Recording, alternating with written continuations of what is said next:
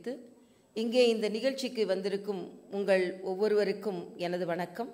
அது மட்டுமல்ல இங்கே இந்த நிகழ்ச்சிக்கு தலைமை தாங்கி நடத்தி கொண்டிருக்கும் சென்னை தொலைக்காட்சியை சார்ந்த ஒவ்வொருவர்களுக்கும் மற்றும் இந்த நி நிலையத்தின் துணை தலைமை இயக்குனர் திரு கிருஷ்ணதாஸ் அவர்களுக்கும் மத்திய அரசு பத்திரிகை செய்தி பிரிவின் கூடுதல் தலைமை இயக்குனர் திரு அண்ணாதுரை அவர்களுக்கும் மண்டல செய்தி பிரிவின் தலைவர் திரு குருபாபு பலராமன் அவர்களுக்கும் மற்றும் இந்த நிகழ்ச்சியில் சிறப்பான கருத்துக்களை எடுத்துச் சொல்ல இருக்கின்ற மரியாதைக்குரிய Thiru Dogra IPS former DGP அவர்களுக்கும் மற்றும் இந்த நிகழ்ச்சியில் கலந்து கொண்டிருக்கின்ற திரு கணபதி அவர்களுக்கும் திரு நாராயண திரு திருப்பதி அவர்களுக்கும் திரு அசோகன் அவர்களுக்கும் திரு ரமா வேணு திருமதி ரமா வேணுகோபால் அவர்களுக்கும் டாக்டர் ராஜ்குமார் அவர்களுக்கும் மற்றும் இந்த நிகழ்ச்சியில் நன்றியுரை நல்க இருக்கின்ற திரு சண்முகம் அவர்களுக்கும் இந்த நிகழ்ச்சியில்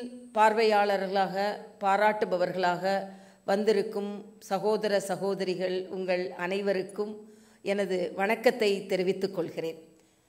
சென்னை தொலைக்காட்சிக்கு வந்திருப்பது எனக்கு எப்பொழுதுமே ஒரு சுவையான இன்பமான அனுபவம்.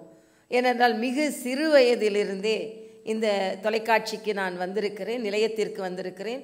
ஆனால் இன்று சாதாரண ஆளாக நான் வந்தவள் இன்று ஆளுநராக வந்திருப்பது எனக்கு மிக்க மகிழ்ச்சி. இதுவே நமது பாரத பிரதமர் எப்படி பெண்களுக்கு ஒரு முக்கியத்துவத்தை கொடுக்கிறார்கள் என்பதற்கு ஒரு முக்கிய சான்று. நமது பாரதிதாசன் பாரதியார் போன்றவர்களெல்லாம் பெண்கள் முன்னேற வேண்டும் என்று கனவு கண்டார்கள்.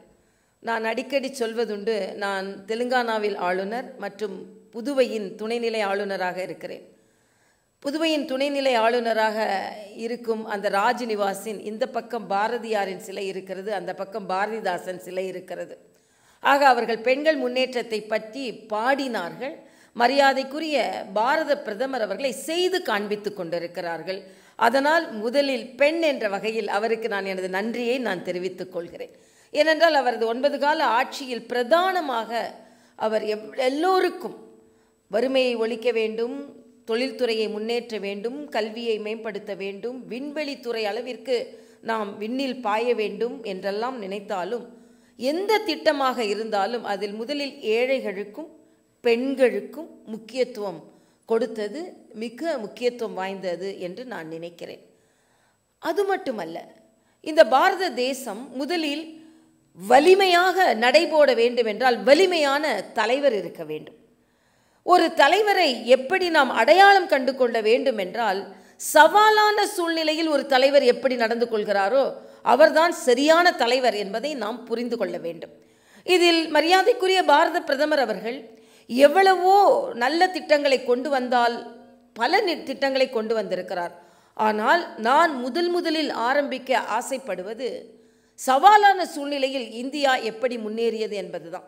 பெண் என்ற முறையிலும் மருத்துவர் என்ற முறையிலும் நான் இந்த நிகழ்வை மரியாதைக்குரிய பாரத பிரதமர் இந்த பேண்டமிக் என்ற பெருந்தொற்றை எப்படி அவர் மிக வேகமாக கடந்தார் என்பதும் வலிமையாக கடந்தார் என்பதும் உலக நாடுகளே ஆச்சரியப்படும் அளவிற்கு இந்தியா முன்னேறி பாதுகாப்பாக இருந்தது என்பதையும் சொல்லி ஆரம்பிக்கலாம் என்று இருக்கிறேன். ஏனென்றால் மரியாதைக்குரிய பாரத பிரதமர் அவர்கள் பெருந்தொற்று வந்தவுடனேயே என்ன சொன்னார் என்றால் உயிர் இருந்தால்தான் உலகம் இருக்கும். ஆக உயிர் இருக்க வேண்டும். உலகம் இருக்கும் ஆனால் உயிர் இருக்க வேண்டும். ஏன் பெருந்தொற்றை பற்றி நான் மிகவும் ஆச்சரியப்பட்டு இங்கே பேச ஆரம்பிக்கிறேன் என்றால் பெருந்தொற்று என்பது ஒரு மருத்துவர் என்ற முறையில் எப்படி people will be dying like flies ஈக்களை போல அவர்கள் செற்று வீழ்வார்கள் என்பது தான் பேண்டமிக்கு ஒரு கலோக்கியல் லாங்குவேஜில் சொல்லுகின்ற ஒரு வாசகம். அப்படி என்றால் உலக சுகாதார மையம் என்ன ஒரு கணிப்பை சொன்னது என்றால் உலகத்திலேயே இந்த பெருந்தொற்றினால் உயிரிழப்பவர்கள் அதிகமாக எந்த நாட்டில் இருப்பார்கள் என்றால் அது பாரத தேசத்தில் இருப்பார்கள். ஏன்?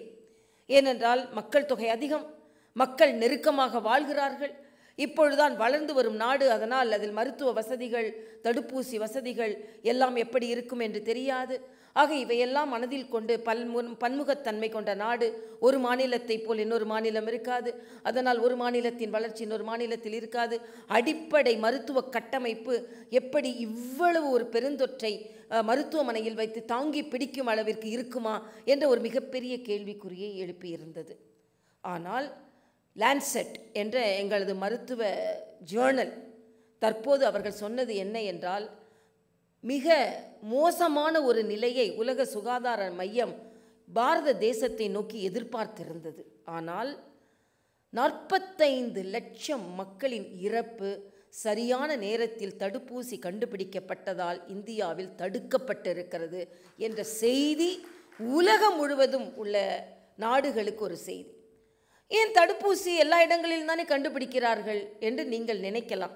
ஆனால் ஒரு பெருந்தொற்று ஆரம்பித்து பதினோரே மாதத்தில் தடுப்பூசி கண்டுபிடித்து அதை பல கோடி மக்களுக்கு நம் மக்களுக்கு கொடுத்து நூற்றி ஐம்பது நாடுகளுக்கு ஏற்றுமதி செய்து நம் நாட்டு நம் யாதும் ஊரே யாவரும் கேளீர் என்று நம் தமிழர்கள் சொல்லி வைத்தார்கள் அல்லவா? ஆக என் நாட்டு மக்களுக்கு மட்டுமல்ல மற்ற நாடு மக்களுக்கும் அது கொடுக்கப்பட வேண்டும் என்று கொடுத்து இந்த இந்திய தேசத்தை மட்டும் காப்பாற்றியது மட்டுமல்லாமல் நூற்றி ஐம்பது நாடுகளையும் காப்பாற்றிய மிக பிரம்மாண்டமான ஒரு அரசு நமது பாரத அரசு மரியாதைக்குரிய பாரத பிரதமர் தலைமையில் உள்ள அரசு. ஏன் இதை சொல்கிறேன் என்றால் ஏன் பதினோரு மாதத்தில் தடுப்பூசி கண்டுபிடித்தாகிவிட்டது? கண்டுபிடிச்சதுனால் நம்ம போட்டோம் மற்ற நாடுகளுக்கு ஏற்றுமதி செய்தோம். நான் மருத்துவக் கல்லூரி மாணவியாக இருக்கும் பொழுது ஒரு தடுப்பூசி இந்திய தேசத்திற்குள் வர வேண்டும் என்றால் நாமெல்லாம் ஏக்கத்தோடு பார்த்து கொள்ள வேண்டும்.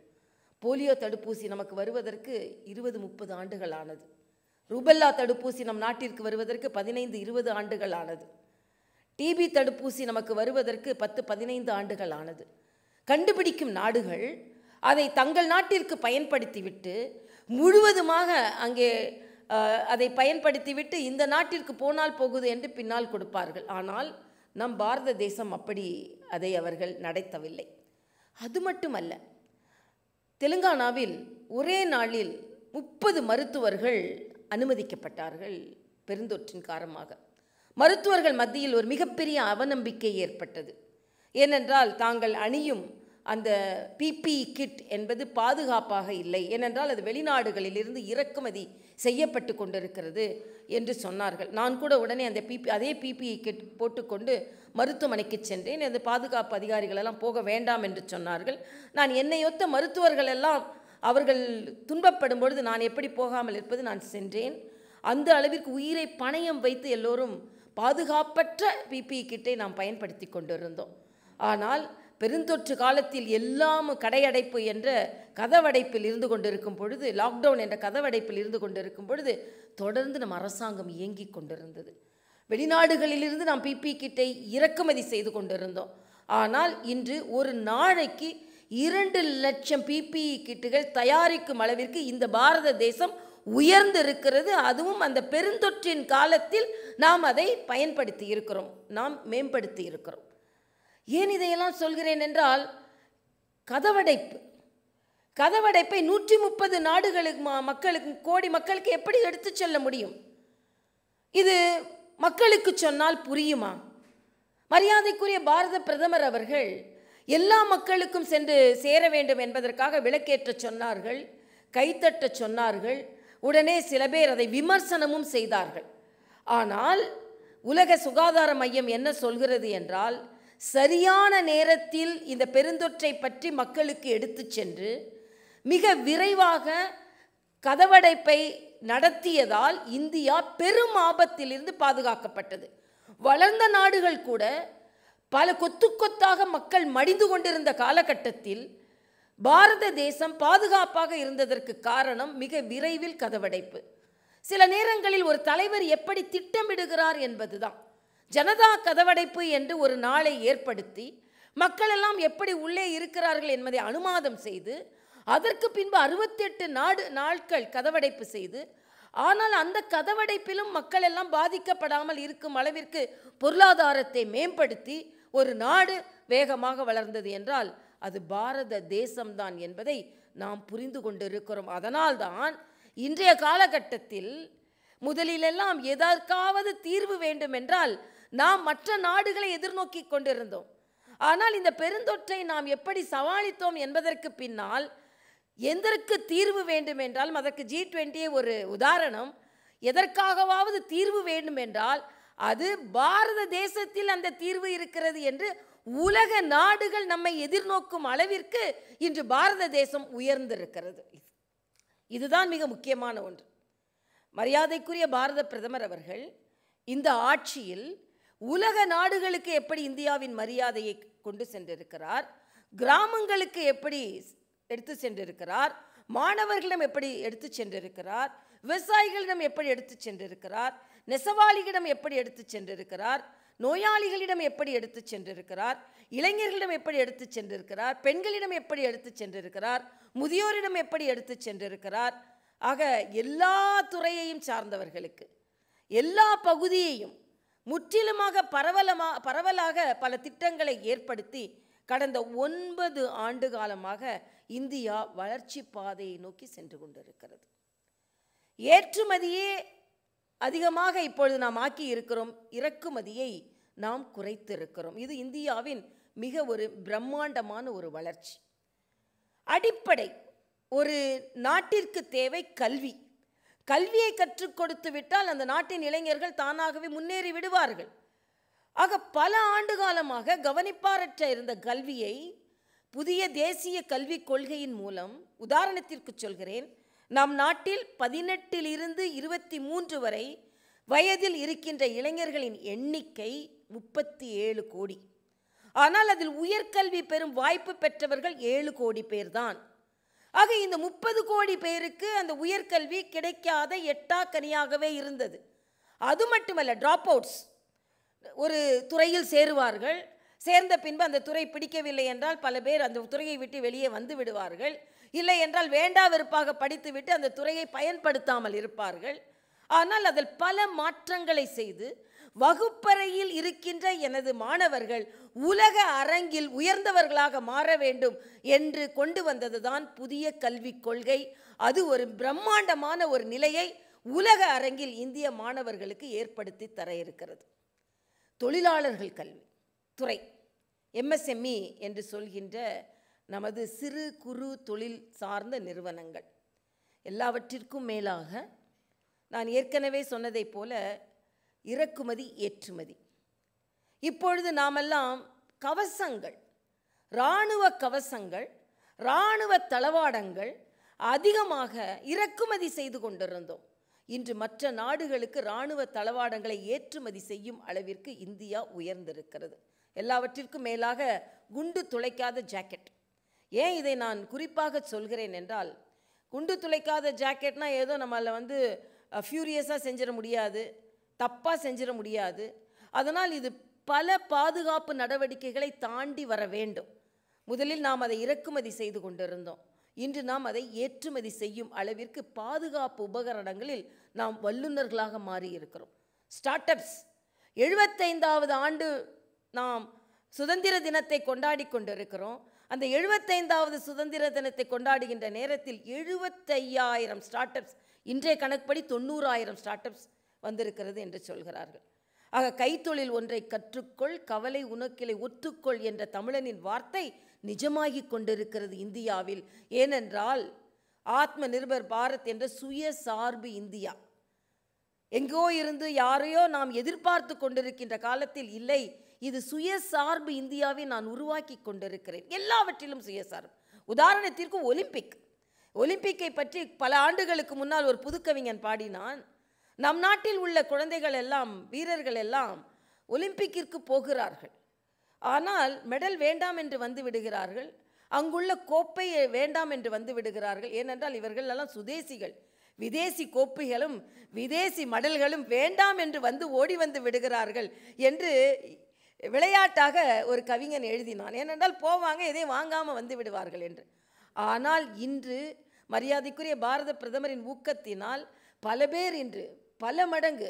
அதாவது பேரா ஒலிம்பிக்ஸில் கூட நம்ம மெடல் வாங்கும் அளவிற்கு நம் இளைஞர்கள் ஊக்கப்படுத்தப்பட்டிருக்கிறார்கள் என்றால் இவையெல்லாம் சின்ன சின்ன விஷயங்கள். இன்னொன்று நான் சொல்கிறேன் ஏனென்றால் இங்கே பேசுவதற்கு பல துறையை சார்ந்தவர்கள் இருக்கிறார்கள். நான் பொதுவாக தொட்டு விட்டு செல்கிறேன்.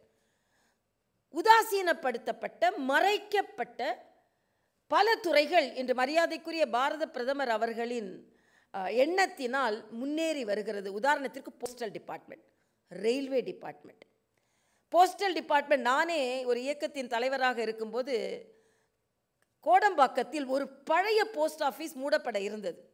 அதற்கு எல்லோரும் அந்த உள்ள பகுதி மக்கள் ஒரு வயதான அம்மா என்னிடம் வந்து என்ன சொன்னார்கள் என்றால் என் நாட்டு எனது கணவர் வந்து இராணுவத்தில் இருந்தார்.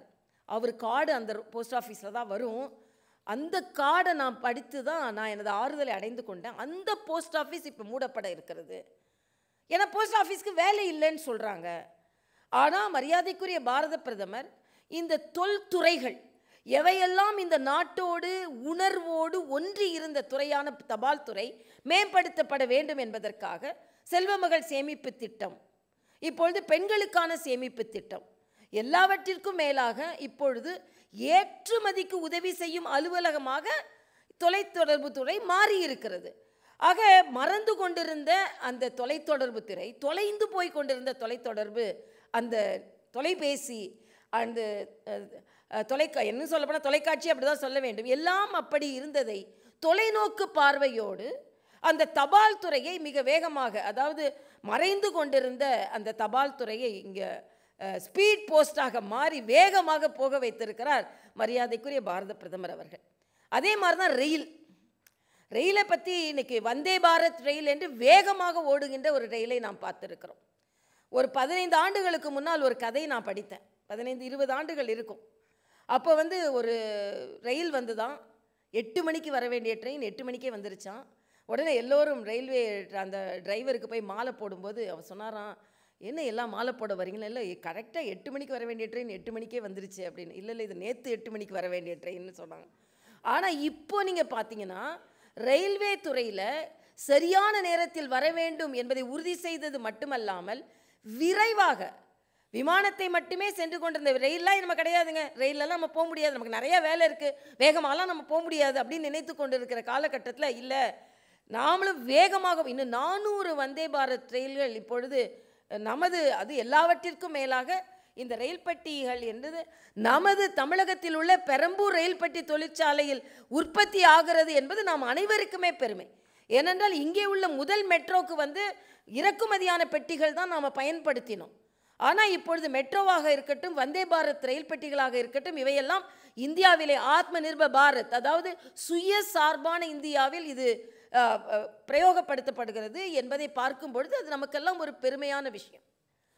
இப்படி ஒவ்வொன்றாக பார்த்து பார்த்து பார்த்து மரியாதைக்குரிய பாரத பிரதமர் அவர்கள் முதலில் நம்பிக்கை ஏற்படுத்தி இருக்கிறார் இந்தியாவில் இந்தியாவில் உள்ள இளைஞர்கள் எல்லாம் நிச்சயமாக முன்னேற முடியும் என்ற ஒரு நம்பிக்கை ஏற்படுத்தி இருக்கிறார் எல்லாவற்றிற்கும் மேலாக வங்கிக் கணக்கு. வங்கிக் கணக்கு என்றால் அது ஏதோ பெரியவர்களுக்கு வசதி படைத்தவர்களுக்கு நாற்பது கோடி பேருக்கு மேல் வங்கிக் கணக்கு ஆரம்பிக்கப்பட்டிருக்கிறது. நாமெல்லாம் பார்த்துருக்கிறோம் தமிழ்நாட்டிலே கூட. உதவித்தொகை கொடுக்கும் பொழுது வரிசையில் நின்று இறந்தவர்களை நாம் பார்த்து இருக்கிறோம் ஆனால் இன்று அரசு திட்டம் எதுவாக இருந்தாலும் நேராக போய் அக்கௌண்ட்டில் உங்களுக்கு கிடைச்சிரும். அதற்கு அக்கௌண்ட் வேணும். சுதந்திரம் அடைந்து இத்தனை ஆண்டு காலமாகியும் அக்கௌண்ட் இல்லாத மக்களை நாம் பார்த்து கொண்டிருந்தோம். ஆனால் அவர்களுக்கு அக்கௌண்ட் ஏற்படுத்தி ஏழை மக்களுக்கு கூட அவர்களால் நிச்சயமாக அதனால் நூ பதினைந்து trillion one point five trillion dollars அதன் மூலம் வருமானம் கிடைத்தது என்று சொல்லும் பொழுது உண்மையிலேயே இவையெல்லாம் பார்த்து பார்த்து பார்த்து நமது பாரத பிரதமர் அவர்கள் செய்த ஒரு மிகப்பெரிய திட்டங்கள் என்பதைத்தான் நாம் சொல்ல வேண்டும். அதே போல் சாலை வசதி. வேகமாக சாலைகள் போடப்பட்டிருக்கிறது நீர்நிலைகள் ஆகாயம் விண்வெளிகள். பெண்கள் மட்டுமே அனுப்பிய விண்வெளி கலங்களை எல்லாம் பாரத தேசம் பார்த்து கொண்டிருக்கிறது. அதையும் நாம் பாராட்ட வேண்டும். ஆக இன்னொன்று மருந்துகளின் விலை. நான் ஒரு முறை நோயாளிகளை பார்க்க போய் கொண்டிருக்கும் பொழுது ஒரு நோயாளி ரொம்ப கவலையாக இருந்தார். அவர்கிட்ட கேட்டேன் ஏங்க இவ்வளோ கவலையாக இருக்கீங்க? என்னாகுமோன்னு கவலைப்படாதுங்கன்னு சொன்னேன். அதுக்கு அந்த நோயாளி சொன்னார் என்னாகுமோன்னு கவலைப்படலை டாக்டர். எவ்வளோ ஆகுமோன்னு தான் எனக்கு கவலையாக இருக்கிறது என்று சொன்னார்.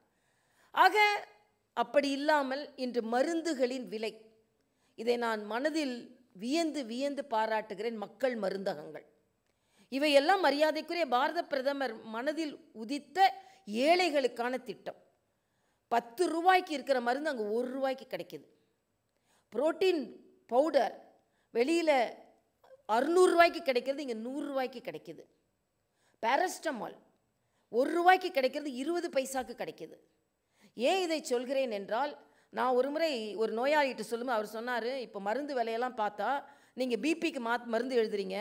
மருந்து கடைக்குள்ள போய் பிபி மருந்தோட மருந்து விலையை கேட்டால் பிபி குறையிறதுக்கு பதிலாக பிபி மருந்து மருந்து விலையை கேட்டாலே பிபி ஏறிடுது.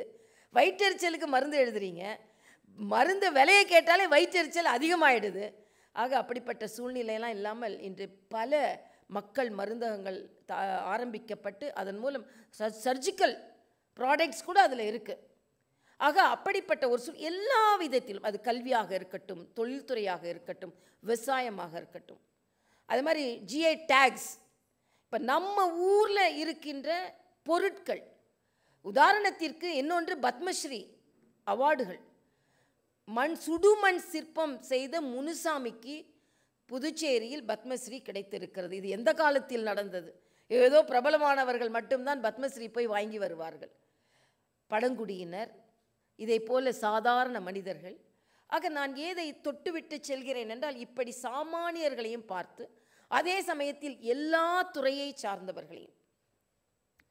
மிக பிரம்மாண்டமான ஒரு இந்தியாவை உருவாக்க வேண்டும் என்ற ஒரு கனவோடு எல்லாவற்றிற்கும் மேலாக பல ஆண்டுகளுக்கு முன்னால் இந்தியாவை உலக நாடுகள் எப்படி பார்த்தது இப்பொழுது இந்தியாவை உலக நாடுகள் எப்படி பார்க்கிறது?